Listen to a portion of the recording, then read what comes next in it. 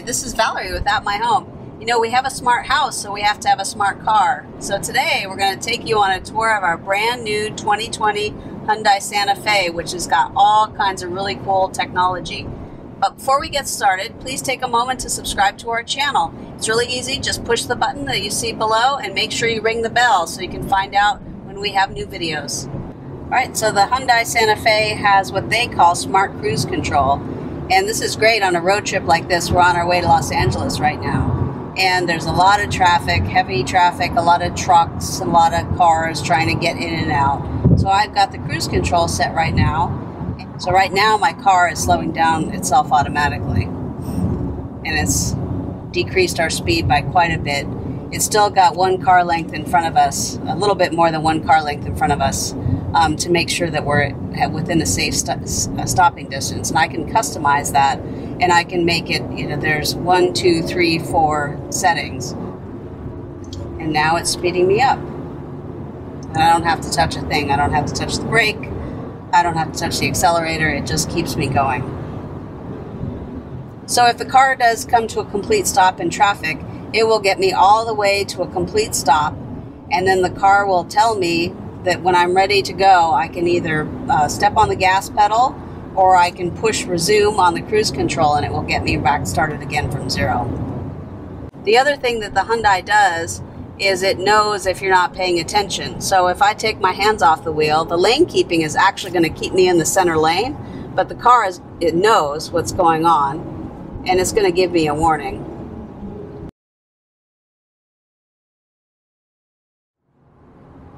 So one of the reasons we really wanted to upgrade this car was so that we could have access to Apple CarPlay within the car. So let me give you a little bit of a walkthrough of how we use the CarPlay. So right now we've got the map on. This is using Apple Maps. Um, my phone is plugged in down below. There's a, there's a cord right there for us to plug in specifically to use the Apple CarPlay. So this has got the map on right now. If I use this button here, that's going to give me a different display. It's got music, it does have the next turn direction there, and it's got the ETA on the map, which is nice. I'm going to click that again. And here's the main menu for the Apple CarPlay. So we have access to the phone. We can play music from Apple Music, use Apple Maps. We can get text messages, and it'll get notified right through the display. There's a special Hyundai app that has some additional features we'll talk about later. You can listen to podcasts, you can listen to audiobooks. These are some of the other apps that we have access to. We have Google Maps, iHeartRadio, uh, NPR One, Pandora. So we can use these apps that are enabled for CarPlay. And you can even use Waze with Apple CarPlay now, which is great. That's something we've been looking forward to. Another really great feature about Apple CarPlay is the integration with Siri.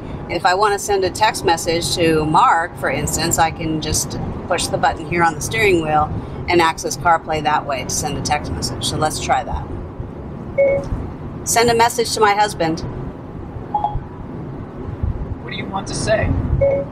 Hi, how are you doing? Your message to Mark Malone says, Hi, how are you doing? Ready to send it? Yes. Okay, it's sent.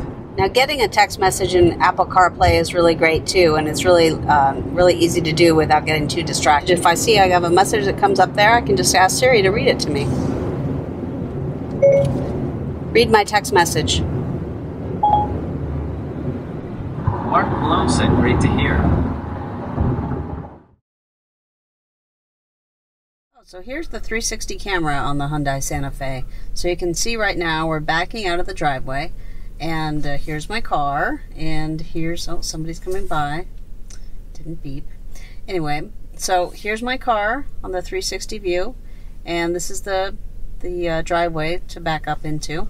And we can change all the views on here since there's a camera all the way around the car. So we just want to look at the back. There's just the back. Here comes another car. If we want to look at the side over here we can see what's going on on that side of the car on that side of the car and just in the very back of that back camera. So I like the 360. We'll go back to the 360. This is really handy when you're trying to pull out. You can see I've got little guidelines on my on my bumper to help me figure out which way to go. So we're going to take off.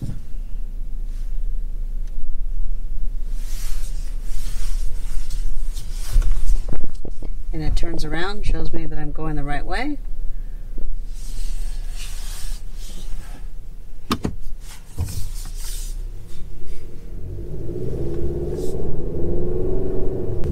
And you notice it automatically switches to the front camera when we started moving forward. Now once you get up to a speed, it turns itself off. This 360 camera is also really great for parking, especially when you have tight parking spots. Pull into this parking spot over here with a curb and show you how, how the 360 camera helps with your parking.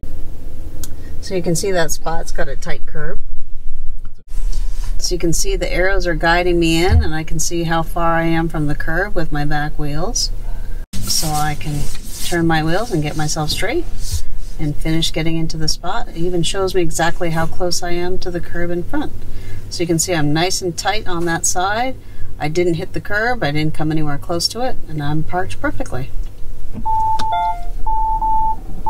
Oh, so the car gave me a caution because someone was in my blind spot when I was getting ready to back up. My car was in reverse, it saw the car coming, and it gave me a notification so I won't hit it. We can see the heads-up display now. It's got my it's got my speed and it's telling me where to turn. It even gives me how many feet is left until I need to make the turn. Here's another turn coming up here. Now this is a really great feature, this camera that's on the side of the car. I can see when I've got my turn signal on exactly what's next to me on the side of the road. And this is great if there's a lot of traffic, maybe there's a curb, or there's some other obstacle, maybe a biker on your side. It's really great to be able to see those with that little camera.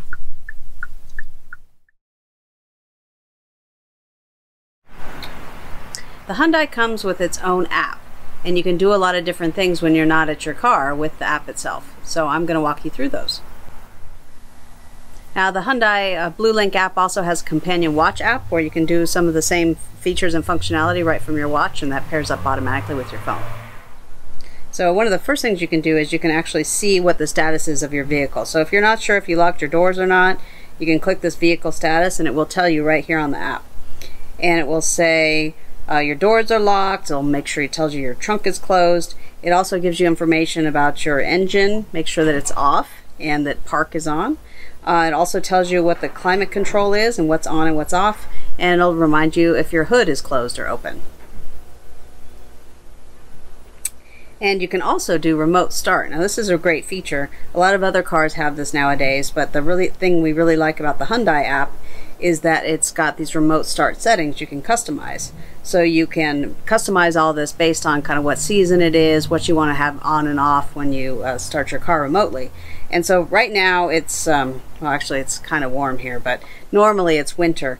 Uh, so you can change the temperature, how hot you want the car when you get in. You can turn on the front defroster automatically. And then if you have other heated features in your car like we do, like heated seats or a heated steering wheel, you can also toggle those on or off with a remote start. And then when you do that, you go ahead and you push submit. All right, we sent the request. And there it goes. All right, so we, the car started, that was success. I can also stop the car remotely.